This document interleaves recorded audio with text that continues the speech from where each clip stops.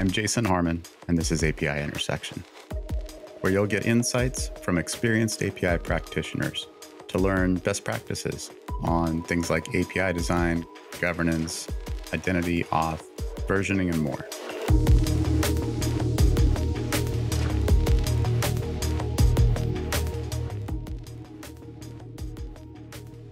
Welcome back to API Intersection Podcast. Uh, we have uh, totally a, one of these wheelhouse discussions today, right? Uh, the thing we've done most is look at you know um, kind of what are what are API programs and kind of the the machinery behind it. Uh, what does all that look like?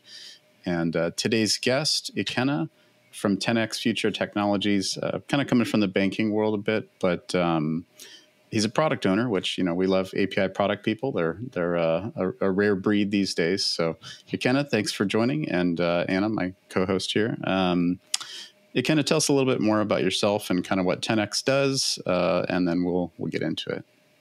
Thank you, Jason. Thank you, Anna. Uh, yeah, like uh, Jason said, my name is Ikenna. We I'm the uh, you know product owner, uh, API product owner at 10x.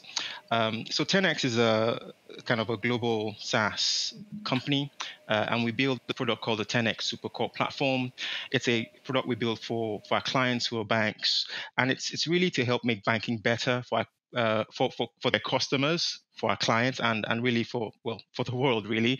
But the goal of the platform, it's a kind of cloud-based platform that, that really helps to make, uh, helps our clients build product to market uh, 10 times faster uh, and, and, at, and at a much lower cost to, to what they have. So that's, that's kind of um, that's what we bring uh, to the market. Um, and uh, in terms of my role there as an API product owner, I, I kind of help oversee our API platform team, uh, our team, the team we have, which kind of oversees our API gateway, but also um, oversees kind of API governance standards, uh, help optimize our API development workflow, and also we, I help facilitate the internal community of practice we have around APIs, uh, which we call our API Guild.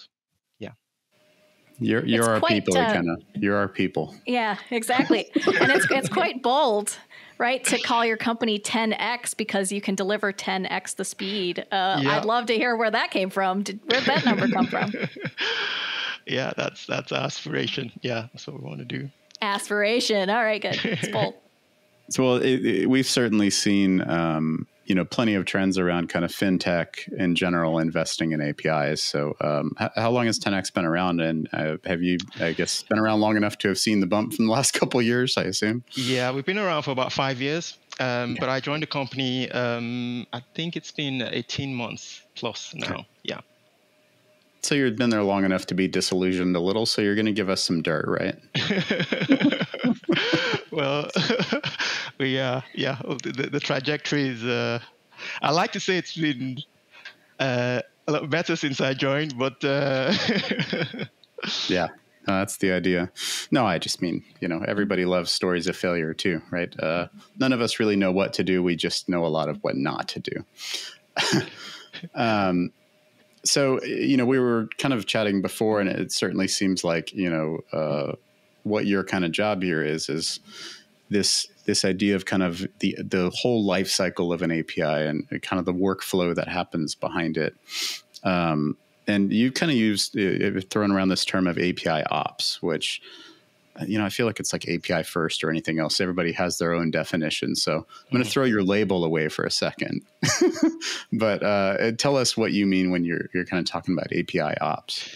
Yeah, that's a good good point, Jason. Because I think when we look at it, you know, we've had a DevOps movement, and from there, there's been a lot of you know the next the next uh, term that's come out. So there's been a lot of ops related uh, buzzwords come out. You know, there's there's biz DevOps, DevSecOps, everything ops just just coming out. And Sales so um, ops. Yeah, yeah, exactly, right. And and I've um, but I'm really been interested in this idea of, of API ops because when we look at it and look at what you know when we start with what's DevOps about, right? Uh, and we see that, you know, at its kind of heart, at its core, like I see DevOps as really applying lean principles to the to to the software development work stream, right? And trying to optimize that. So optimizing the flow of value to the client, uh, to the customer, but also getting feedback along the way. You know, whether that, that's through metrics or through different ways, getting feedback to further optimize that process. But also about, you know, putting safety, building cultures that incorporate safety, that incorporate continuous improvement, that incorporate incorporate uh, experimentation, to help drive cultures that are in, that you know innovate. So that's really for me what DevOps, DevOps is about.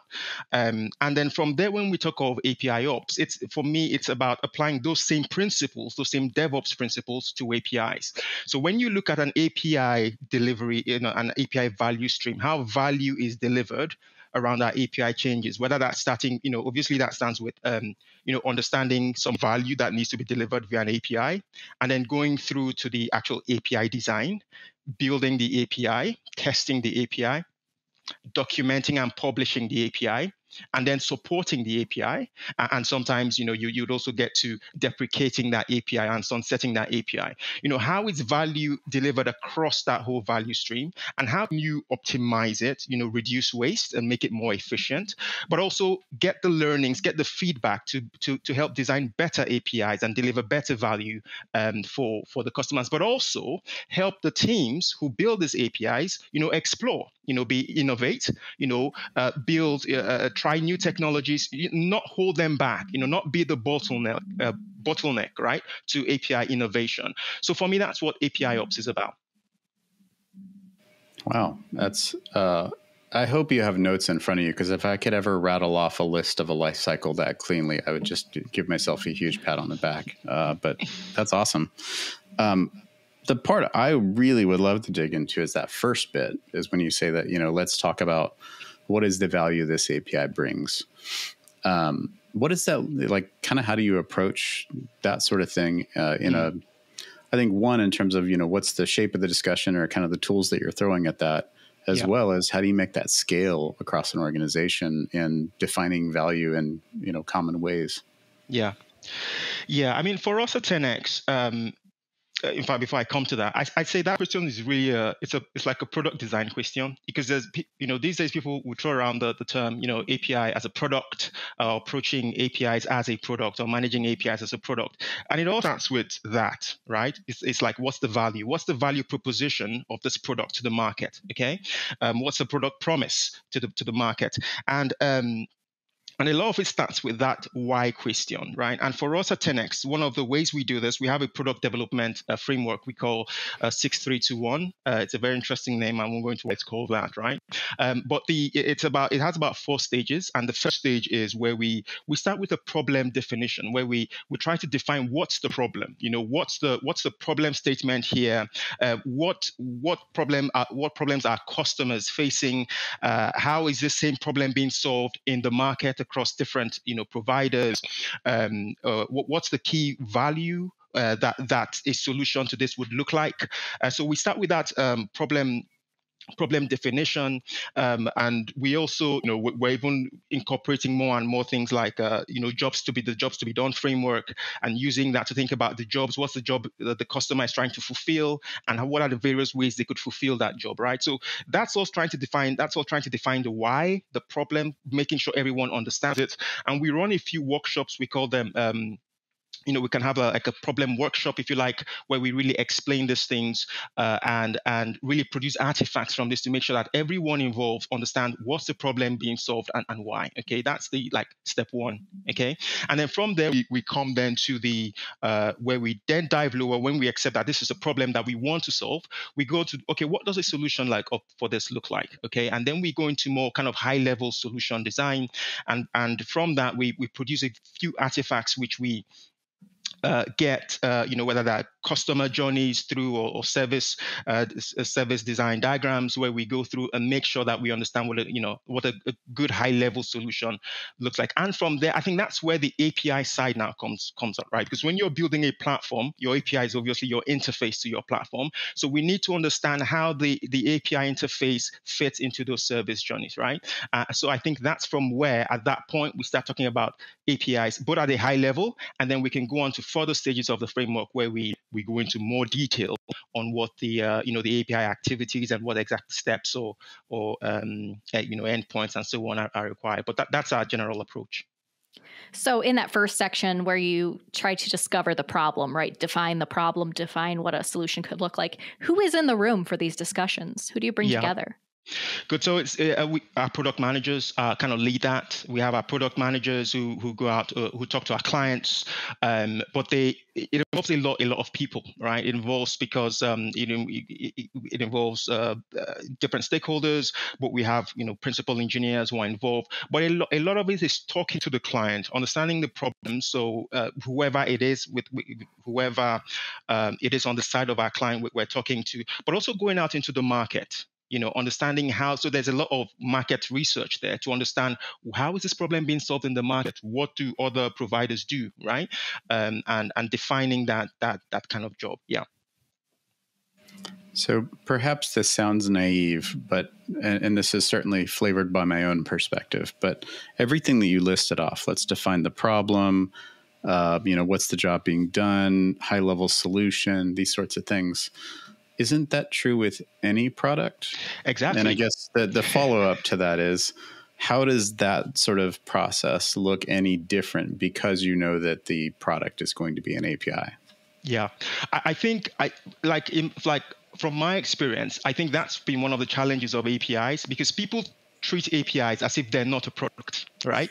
And and it's this whole technology. It's just you know it's just just an interface. It's just a technology interface, and so and so it's kind of um, left for the technology function. But I think it should be led by the, you know, I, I, don't think that's right. I think it should be led by product because we should apply all these good product management principles to the API, understand the value, understand, you know, the product roadmap, or, you know, clearly define the product. Uh, and then from there, we start talking about, you know, what's the interface that this product should have. Okay. And I think that's where the, the API bit of it then comes out from that, right? Like, like making sure we understand the, the, the you know the interface uh, and then um, obviously designing that interface so going to our you know product design uh, sorry api design methodology and all those things.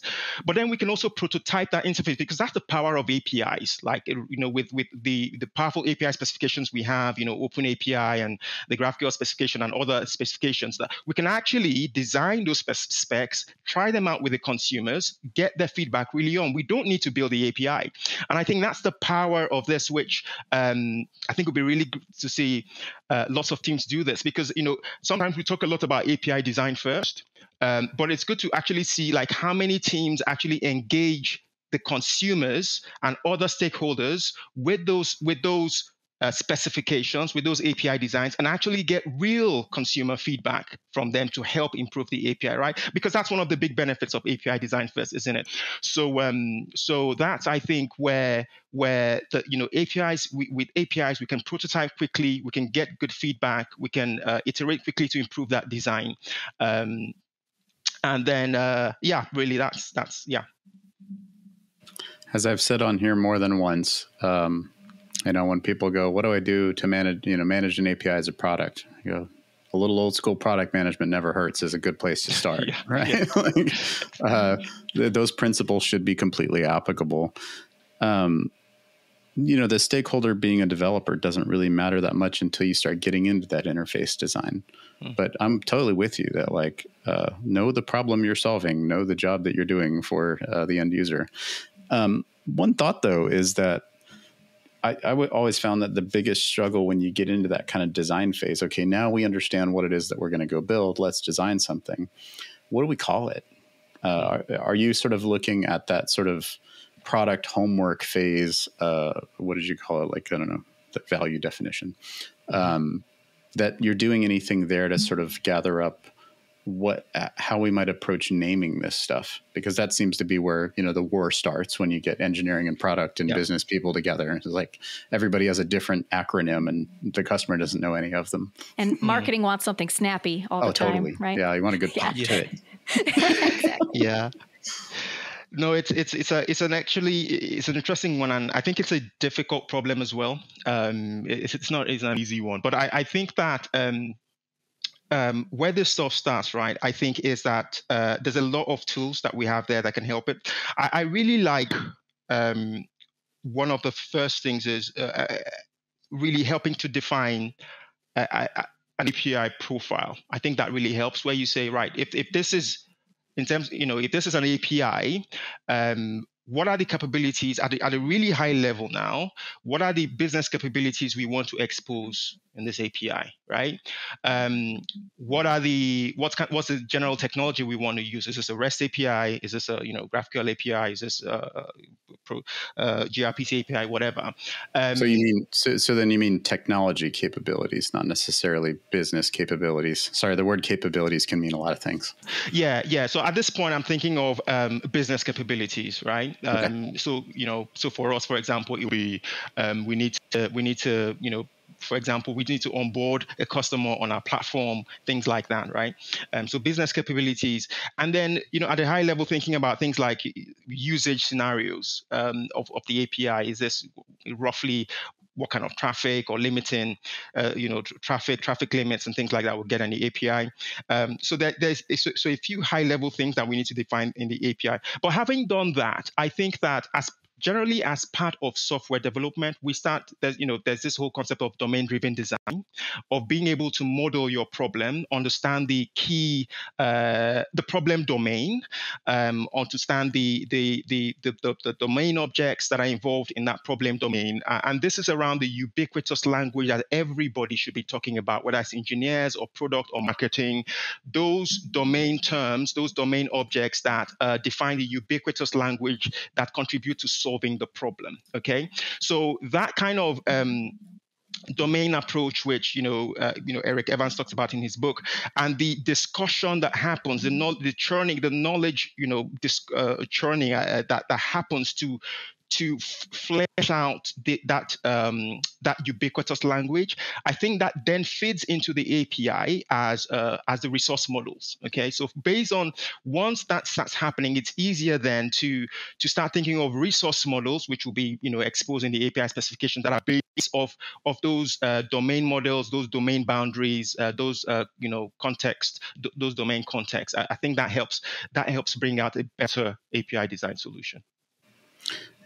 Yeah, I, I, uh, so I, I think for product people listening, which I hope we get some of those, right? Uh, since that's kind of the subject du jour, is uh, I think a lot of product managers struggle with how to kind of do that aspect of design up front and uh, to sort of uh, grapple with this reusability thing, right? And not just falling into the trap of building a one off API for this particular use case that doesn't yeah. fit into a bigger picture. So, you, I mean, do you, do you find in these engagements that it's kind of a partnership with sort of engineering and product to find what that model should look like? Absolutely. You know, collaboration is key, is absolutely key. And what I, one of the things, uh, in fact, we're adopting in my in my in my organization, in my company, is um, I like a lot uh, James Higginbotham's um, ADDR method. I think James has been on this episode as well uh, when he talked about um, uh, yeah, he's been on one of these episodes. So so James has this um, uh, align, define, design, refine API design method, right? And one of the things about that method is is I like very much it stands the align stage is really about the why, you know, so defining the why, defining job, right? And then there's the there's the define stage, and then we're at that point we're looking at okay, what are the uh, how can you break those those those um, you know high level jobs into into activities uh, and maybe lower level activities? And then who are the stakeholders involved right? And then what are the resources? And i think that when product and engineering get you know get around defining those jobs uh, uh, and then going to that define stage this is where that collaboration really comes in because we're defining those resources together. And of course a lot of discussion will happen and it should right? And we should be ready for the the fuzziness the lack of clarity at this stage because things are still being refined things are still being we're putting things together. So there's going to be a lot of discussions and it should more stakeholders and more people should be involved at this stage because what one of the things we want to um, produce is really I, I like really really like the idea of documenting a resource model as an artifact for this. And however we do it, you know, I love I love Markdown. I love doing this in Markdown in Git because I love putting all my API assets in one repository in Git. That's what I do. But you know, some people could use you know Word documents or they may have other complicated software they use. That's fine. But as long as we document these resources someplace where we can actually play it back to other people in the org and say, what do you think of this resource model? Does this make sense? And it's really good to hear people say, no, no, no, no, no, that doesn't make sense, right? because that's really what and so the next question is why and that's really what brings up that kind of you know that that knowledge uh, churning, that that discussion that happens to to really flesh out a solid, uh, a, a more solid resource model. That's the basis for future extension of the API and future gr- growth, right? Because when you have a great resource, when you have a great resource model, you can easily extend the API. You can easily serve other business, uh, you know, provide other business capabilities, um, uh, uh, and um, you know, satisfy other business needs from that. But when we lack that resource model, uh, it's a, it's a problem because you know things get really disjointed people find difficult to communicate the language is different it's really hard to extend and like oh i forgot this other use case and you know so so i think that's where problems can can come in. Do you think there's ever a chance of too many cooks in the kitchen?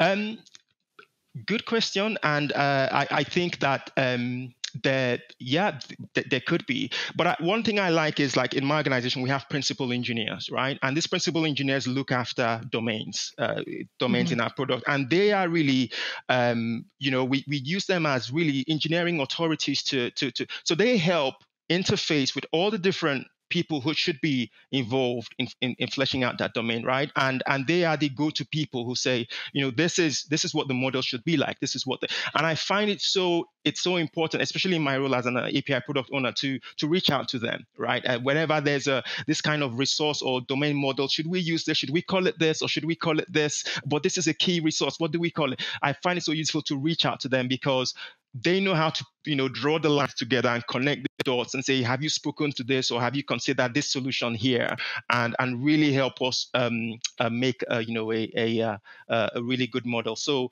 they are people who i see can shepherd are really good at shepherding a good a coherent solution good coherent uh, model that helps api design and filter out all the unnecessary opinions mm-hmm. that come exactly. in along the way right yeah. Yeah, I'd, I'd only add the caveat that sometimes when you're working with insert title here, whoever that guardian of the domain is, um, that sometimes there's an implementation focus that cannot be the most customer centric way of describing it, mm-hmm. and sometimes mm-hmm. needs some translation. But yeah. totally agree that that's that uh, that's that partnership between product and and engineering. Um, so uh, I guess back to your API ops kind of flow. So we talked there about kind of value definition, the beginnings of this design process. And then I guess from there, we're kind of going build, test, publish, support, all these other things. Um, you know, what, what does that kind of next phase look like for you once we've got sort of a design coming together? Yeah, so designs coming together, you know, we have an API specification. Obviously, there's a build, there's a build uh, phase coming from that to actually, you know, build a relevant microservice or, or, or services, and then, uh, you know, exposing that through some some gateway. Um, but I think one one key thing to, to, that always comes up right with APIs is how how can you check what's built actually matches the specification that you you spent a lot of time agreeing and discussing and designing, right? And and I think that's where, um, you know, we have lots of great tools tools that help to, to, that help um, solve that problem um, and we're looking to actually we're doing lots of work on you know in my company to to to incorporate those tools. Um, so so you know things like you know obviously um, we have a, a, a, prism from from stoplight as well is a, is a good one to that that just helps check that look the implementation actually matches the agreed schema um, and and it does it in quite a nice way. I like because it's quite thin just sits like a proxy and helps you do that easy validation without a lot of heavy lifting. So I really like that kind of pattern um, so those those tools those tools help. Um, and then after building it, there's obviously you know exposing it via you know via via, via the gateway, uh, you know testing it, doing all the doing all the relevant testing, whether that's functional testing uh, and other things, exposing it via via gateway so that we you know the, the consumer can use. But the other thing I want to mention is documentation. Because documentation i think it's, it's so important. It's as important as the api design right? And especially in my organization we are moving that as left as possible. We're trying to get um, some of the doc- documentation really early on, you know, if possible, even at the API design stage, because some of the documentation we need to write is like, this is how to integrate with the API. You know, this is this is these are the steps you need to do, or this is you know to to to use this API endpoint. Um, these are the steps you need to do to integrate with this. These are some preconditions you should have met. Uh, uh, you know, these are some examples, and it's really good, I think, to um, to, to try and get some of that stuff really early on because it really affects the design as well. And I like my colleague, one of my colleagues put it this way. He was like, um, a lot of times the people who build the APIs are not the people who use the APIs, right? And and and actually the step of trying to document that API, write some sort of you know API guide, integration guide, or functional documentation, whatever you call it, actually helps the people building it get a better feel of what it is like to use it okay so yeah getting a bit of that early on i think helps helps a lot right for better design yeah, it's it's funny. Uh, by the way, unprompted plug for Prism. There, uh, we, as any listener knows regularly, we don't uh, don't ask for the plugs, but uh, I will say for you know it's open source stuff, and I think uh, QA folks that discover Prism suddenly realize it's it is a solved problem as much as people think it's like an impossible thing to figure out. So definitely worth checking out. Um, on the docs thing though. Um, I think one, it's like to the product managers, it's it's kind of most people have heard of this notion of like write the press release before you build the thing, uh, kind of the Amazon methodology. Yeah. I think there's some aspect to that here um, that is like uh, if you're forced to think through how you would describe what it does and roughly how you use it, you've already ticked those value boxes yeah. pretty heavily, mm-hmm. um, and. Uh, quite often, in order to see if any of that's possible, you have to have someone from the engineering side read that and go, "Yeah, I think we can do that," or yeah. "Are you nuts?" Right? Uh, so, in I, I, think in a lot of ways it can be a unifying force early on to just hub around two paragraphs. What does it do, and roughly how do you use it? Uh, and if you have some kind of spec to go with it that you can mock against, awesome. Like you're leveling up, right? Uh, but I completely wholeheartedly agree. And the only last bit I would add is this is kind of stoplight perspective here a little bit, but we talk to a lot of people who come in and say, "Hey, we're going to use you for documentation." Cool, like API docs are great. Where are you at? You know, in your process? And they go, "Well, we're just getting ready to launch this thing, and it's time to document it." and like, it's very clear what's going to happen, right? This is not going to go well. This is these are not going to be happy people. They're not going to have a good day.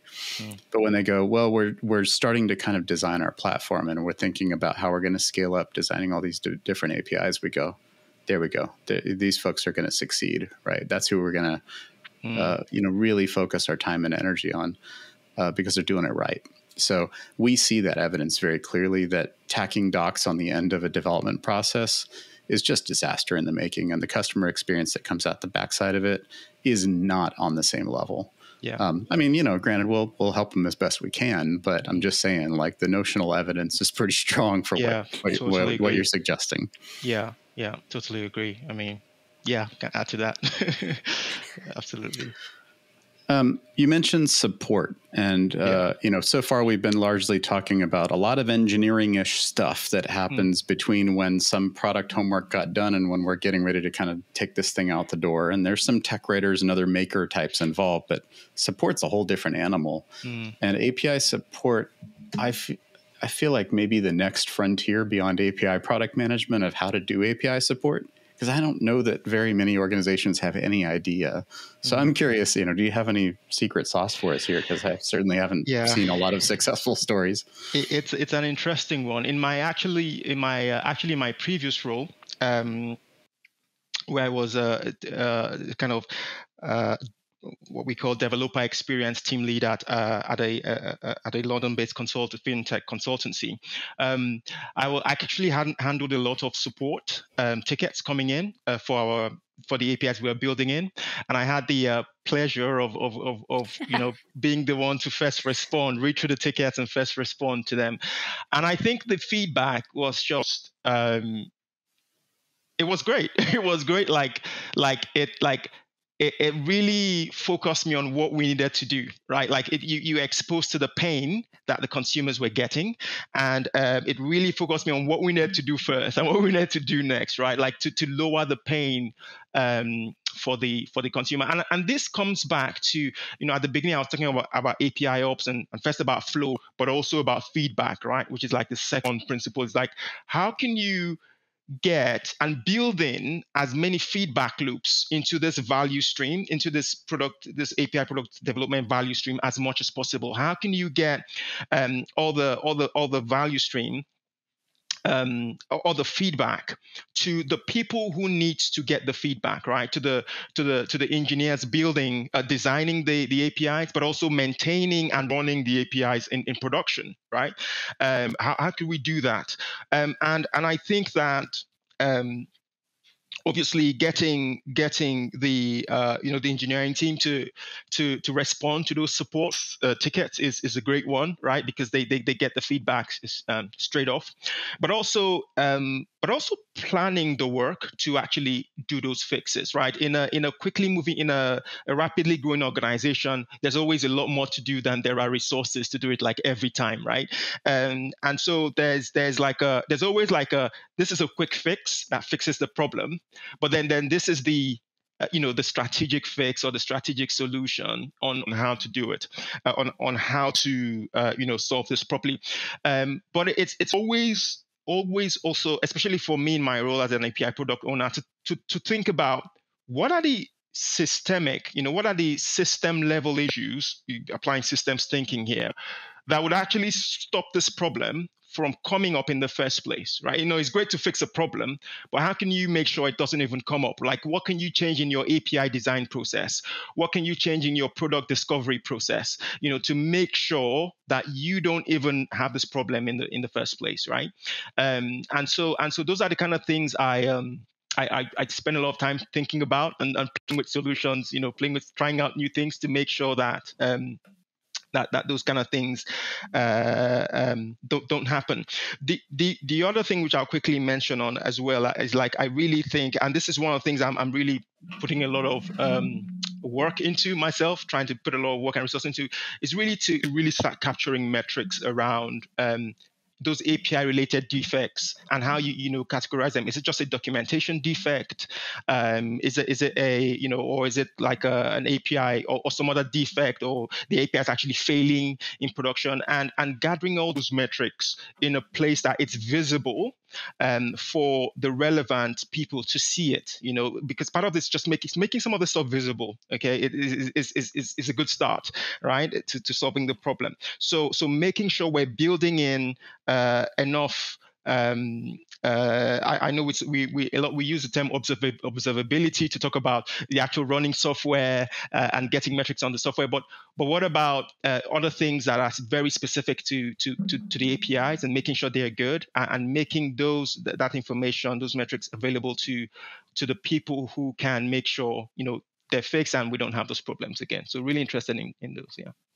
Yeah, and not just locked behind a support ticket software, right, where it's mm. gated to only the support yeah. team members being able to see it, uh, surfacing it is absolutely crucial. Yeah. Well, Ikenna, I feel like we uh, we ran the whole gamut here, man. We ran through the whole life cycle, and uh, I'm kind of uh, I think you win the prize because we always end up going down one particular rabbit hole, but we actually went kind of end to end on. Uh, I mean, we skipped deprecate, but it's just sad. So let's not do that today. Uh, but when you kind of reflect on, you know, this kind of life cycle, this API ops, uh, whatever you want to call it. Um, for some listeners who maybe aren't doing many of these things today and they might be a little overwhelmed, like that's a lot of stuff, right? Yeah. Um, what do you think is you know your first priority? Where would you get started if you give someone kind of a recommendation on, hey, if you're not doing any of these things, what's the most important thing to get going first? Yeah, yeah. Thanks, Jason. Uh, for me, it will be um, for me to be to listen actually just just listen right? Um, so when i joined my role at, at 10x um, one of the things i did was just just listening on the uh, on, on on my teams just stand-ups uh, listen to what the pains were what the constraints are um, listen to the story refinement meetings, uh, have one-on-ones with people, catch up and say, what what problems do you see? What problems do you want more solved, right? Um, and I, you know, get into our API guild. And API guilds, uh, you know, our internal API community of practice is a great way to listen to what pains other people are facing, right, relating to API. So so just listen to see um, what what are the challenges people have, okay, uh, and listen across listen across. We used to have design standards meetings where we create design standards. Again, I'll just listen and try and find out um, where are the pains okay? Um, because i find that's a good place to start right? Like like solving the solving the the most crucial pain um, that that that actually buys us time and and and, capacity to tackle the bigger things right? Um, so so i like i like um, i just like listening and documenting those things um, and then and then I, that, that's almost like an internal problem definition if you like right? Uh, capturing those things and then and then discussing about okay how can we approach these things? Because once we know like this is the biggest problem and this is the second this is the third that's already defined like a roadmap if you like or like a kind of a priority list and basically walking through walking through those because you know there are there are loads of great tools out there loads of great books um, lots of this stuff is, is there right? Uh, but sometimes it can be a bit overwhelming if you don't know where to start. And part of part of knowing where to start is just it's just for me it's listening and discovering what the biggest problems are and attacking those ones first. Yeah I, I, really occasionally have the thought we should get a T-shirt for the API Intersection podcast that just says empathy across the front. Hmm. Uh, right? This is the the same thing we hear. You want to do developer experience, you got to have an empathetic approach. You got to be a decent listener, yeah. and uh, and and solve what hurts. Yeah. Uh, because sometimes it's not as predictable as it seems, and all the other process stuff you can just add on as you go. Hmm. Um, but yeah, I, I, love the message of empathy. It's it's a thing we hear over and over again on here. So, well, I, that feels like a great place to wrap. Uh, really appreciate this, Ikenna. Uh, tremendous amount of knowledge, and uh, I think you know. Uh, again, you're our people. You're in our wheelhouse. so you're welcome back anytime. Thank you, Jason. Thank you, Anna. It's been great being here. Thanks for listening. If you have a question you want to ask, look in the description of whichever platform you're viewing or listening on, and there should be a link there so you can go submit a question, and we'll do our best to find out the right answer for you.